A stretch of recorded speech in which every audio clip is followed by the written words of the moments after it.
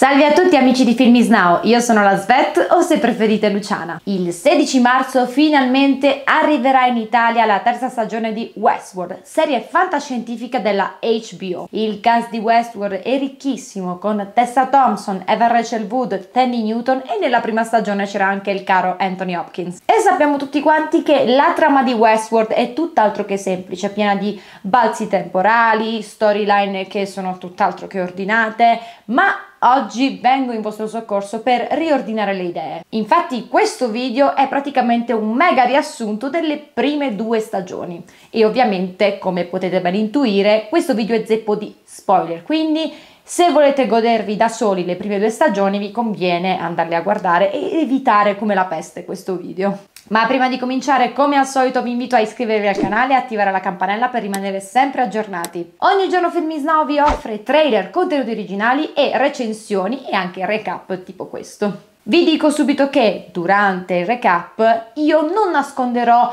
la mia antipatia per Miv e per Dolores e soprattutto non vi nasconderò che la seconda stagione non mi è piaciuta per niente e infatti spero che nella terza risolvano alcuni problemi per me davvero grossi, per voi sicuramente no, anche perché ho notato che la seconda è stata piuttosto apprezzata dal pubblico. Quindi insomma cominciamo anche perché le cose da dire sono davvero tante. Iniziamo col dire che Westworld è un parco tematico, parco tematico creato da Ford e Arnold, il defunto Arnold ai tempi della prima stagione. Questo parco divertimenti è indirizzato ai ricchi aristocratici che hanno voglia di eh, sperimentare una vera e propria avventura nel selvaggio West. Ovviamente come ogni parco ci sono i figuranti, ma questa volta non si tratta di figuranti veri e propri, ma di robot, di androidi per niente diversi dagli umani e con una certa coscienza. Infatti ogni androide all'interno del parco ha il suo carico di ricordi, la propria storyline e hanno una parte da recitare. Quindi loro credono effettivamente di essere quel personaggio perché sono programmati così, il che li rende umani, li rende capaci di provare determinate emozioni, emozioni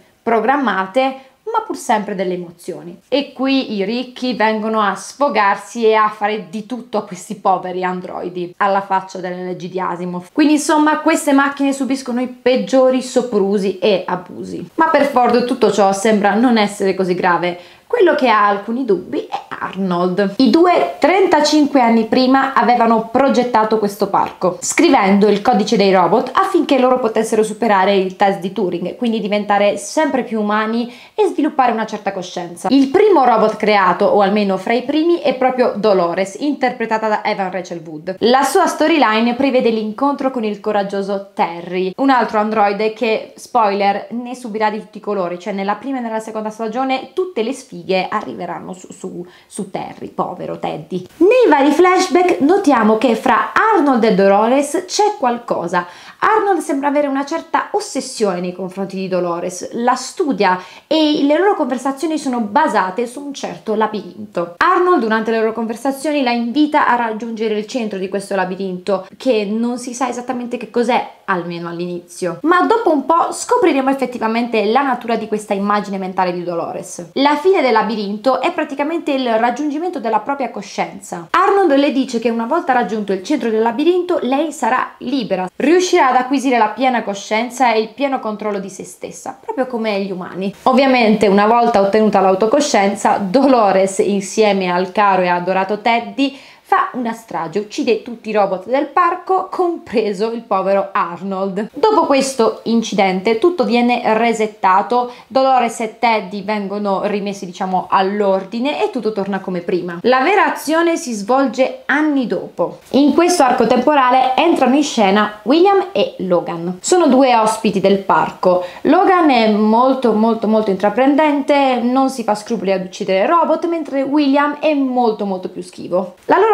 quest all'interno del parco è salvare appunto Dolores. Riescono a salvarla e giungono a Praia e incontrano il bandito El Lazo. Costui li invita ad affrontare un'altra quest, ovvero recuperare della nitroglicerina. Nel frattempo però William si è innamorato dell'androide Dolores. A questo punto William decide di distaccarsi completamente da Logan, il quale voleva che si sposasse con sua sorella Juliet e decide di seguire Dolores all'interno del parco. I due vengono però catturati dallo stesso Logan che con l'aiuto di alcuni banditi li raggiunge. Logan non ha alcuna pietà per i sentimenti di William o per la stessa Dolores, lui la vede come una macchina, come un androide e quindi decide di pugnalarla. L'androide se ne va via, confuso, e William la insegue. Inizialmente cerca di convincere Logan ad aiutarlo, ma ormai il rapporto fra i due non è più lo stesso. Si distacca completamente da lui e corre alla ricerca della sua amata. Finalmente William trova Dolores, la quale sembra non riconoscerlo, e qui si rivela finalmente la sua vera natura, ovvero quella di un androide. William ormai è sconvolto e da qui non sarà più lo stesso. Facciamo un balzo temporale di 30 anni, come se non ce ne fossero abbastanza. Rivediamo William nelle fattezze di colui che sarà poi nominato l'uomo nero, un grande azionista che ha investito pesantemente sul parco. Lui sembra interessato, anzi ossessionato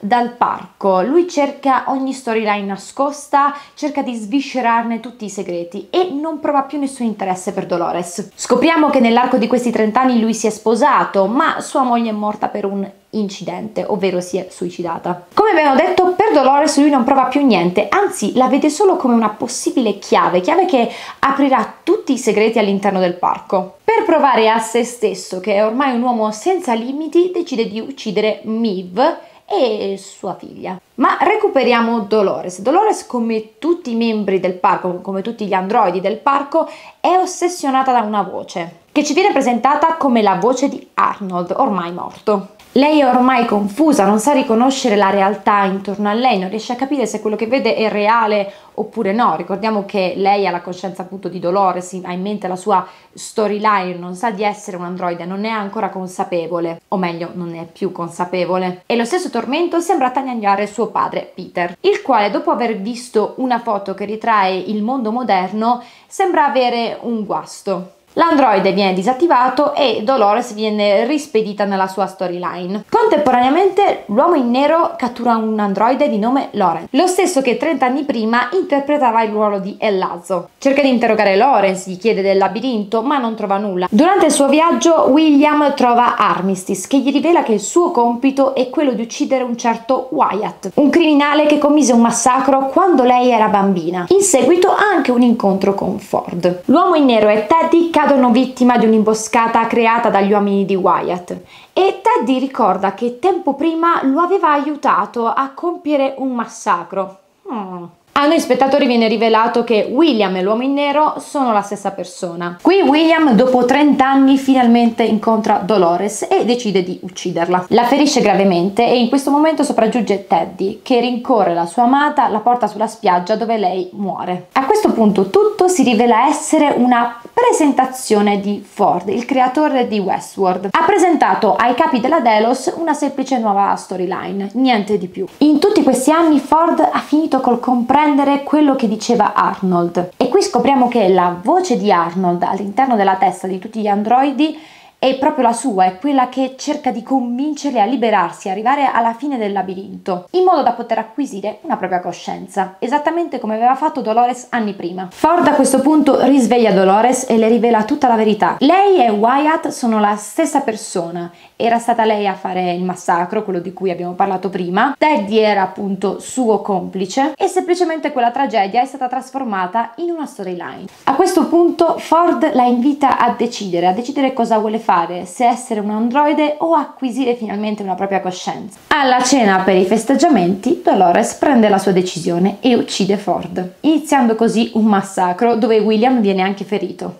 Ma pensate che sia finita qui? Assolutamente no, anche perché parallelamente a questi eventi seguiamo gli eventi di Miv e Bernard. La Miv che incontriamo in questa storyline non è una madre di famiglia ma una direttrice di un bordello, la quale inizia ad avere dei ricordi un po' strani, sente che qualcosa non va in lei. Il reset dei suoi ricordi non è avvenuto diciamo nel migliore dei modi e quindi ha dei continui flash di lei uccisa. Pian piano inizia ad avere sempre più consapevolezza del mondo che la circonda e arriva a manipolare anche due tecnici, due scienziati. Li convince ad aumentare la sua capacità intellettiva in modo tale da poter comprendere tutti i segreti del parco. Ed è proprio in questo momento che ricorda quello che le è successo. Dopo questa modifica, Miv riesce a ricordare quello che le è successo, ovvero la sua morte per mano di William e quella di sua figlia. Si rende conto che questo trauma è ancora molto vivo dentro di sé. Infatti all'epoca Ford aveva deciso di resettarla proprio perché questo trauma non andava via. Le ha così donato una nuova storyline. A questo punto però le capacità intellettive di Miv sono talmente forti da riuscire a controllare tutti gli androidi del parco. Riesce a manipolare anche Hector e Armistice e diventa inarrestabile. E a questo punto c'è la ribellione degli androidi. Miv a questo punto scopre anche che sua figlia si trova nel S-World. Decide quindi di non andarsene dal parco ma di restare per trovarla. Passiamo a Bernard Love. Bernard Love è uno strettissimo collaboratore di Ford che ha una relazione con un membro dello staff, Teresa. Una collaboratrice, Elise, gli racconta che qualcuno sta utilizzando i dati degli androidi al di fuori del parco. Si tratta proprio di Teresa che ha deciso di trasferire tutte le informazioni del parco al consiglio, il quale si rivela un po' ostile nei confronti di Ford. Le sorprese ovviamente non finiscono qui perché Bernard fa una scoperta sensazionale, ovvero che Arnold ha programmato degli androidi mm, distaccati dal mondo di Westworld. E tra questi androidi che vivono al di fuori del parco in una cellula distaccata c'è anche la riproduzione della famiglia di Ford, la quale ha anche una riproduzione di Ford bambino. E a questo punto si scopre che lo stesso Bernard è un robot, un robot con le fattezze di Arnold. A questo punto Bernard uccide Teresa, ma la sua memoria viene cancellata dallo stesso Ford. Miv lo informa nuovamente della sua natura, ovvero della natura da robot, e a questo punto Bernard arriva ad affrontare finalmente Ford, dopo un'epopea di puntate. Purtroppo Ford spinge Bernard a suicidarsi, ma sarà Miv a riattivarlo. Il tutto si conclude con loro che assistono al massacro creato da Dolores. Bene, e qui finisce la prima stagione. Adesso che io ho cercato di raccontarvela mi rendo conto di quanto sia complicata, ma iniziamo subito con la seconda, quella che mi ha fatto pensare perché sta accadendo questo, però magari a voi è piaciuta, anzi Fatecelo sapere appunto nei commenti qui sotto. E anche questa stagione è divisa in 3-4 linee temporali più diversi flashback. L'arco narrativo principale ha come protagonista Dolores che non fa altro che trasformare Teddy in un killer, continuando il suo massacro, la sua ribellione, e Miv che cerca disperatamente sua figlia. Quest'ultima infatti attraversa Shogun World, ovvero un parco a tema Giappone feudale, per cercare la bambina, ma non con grande successo. In tutto ciò il caro William è tornato, il nostro uomo in nero. Dolores e Teddy corrono per tutto il parco uccidendo tutto ciò che gli capita davanti e contemporaneamente Bernard e Charlotte, interpretata da Tessa Thompson, non fanno altro che nascondersi dalla furia dell'androide. A questo punto Dolores convince alcuni membri del consiglio di amministrazione, membri che lei ha catturato, a portarla da degli ingegneri per attuare un suo piano. Poco dopo Bernard viene catturato da Dolores che lo porta da Elise. A questo punto William incontra sua figlia, o meglio quello che crede essere sua figlia. E poi c'è un breve incontro fra Dolores e Miv, la quale le dice dice che quello che sta facendo non porterà a nulla di buono. Dolores quindi stai calmina. La seconda storyline riguarda il risveglio di Bernard sulla spiaggia, in compagnia di Strand e del suo team, i quali sono arrivati 11 giorni dopo la strage per cercare di capire che cosa sta succedendo. Strand inizialmente dice che è arrivato per salvare i visitatori, ma in realtà sappiamo tutti quanti che lui vuole soltanto recuperare la memoria di Abernathy. L'obiettivo di Bernard in questa storyline è quella di scoprire che cosa è successo nella linea temporale 1 che ha portato quindi al massacro e si renderà conto che all'interno dei morti del massacro c'è anche il povero Teddy. Altro spostamento di storyline, questa volta siamo alla terza storyline, ci state capendo qualcosa? Spero proprio di sì, perché la seconda stagione è molto molto più confusa della prima. Durante la prima puntata della seconda stagione assistiamo a Arnold, ovvero Bernard, durante una delle sue mille conversazioni con Dolores. Sembra essere una delle normali conversazioni dove Bernard cerca di analizzare Dolores, ma in realtà si scopre che Dolores sta analizzando Bernard in qualità di host, in qualità di androide. Quindi le due linee temporali appena spiegate servono a Dolores a testare la fedeltà, ovvero la perfetta replica della personalità di Bernard nell'host nell'androide che Dolores ha voluto per sé. Questo per lei è uno dei passi che la porterà alla conquista del genere umano, megalomania portami via Dolores. E complichiamo ulteriormente le cose con dei flashback, dei flashback disseminati qui e là durante la seconda stagione. Qui vediamo una prima versione di Dolores che non è ancora entrata nel parco di Westworld, alla quale viene mostrato anche parte del mondo reale E qui ritorna anche il giovane William che mostra a James Delos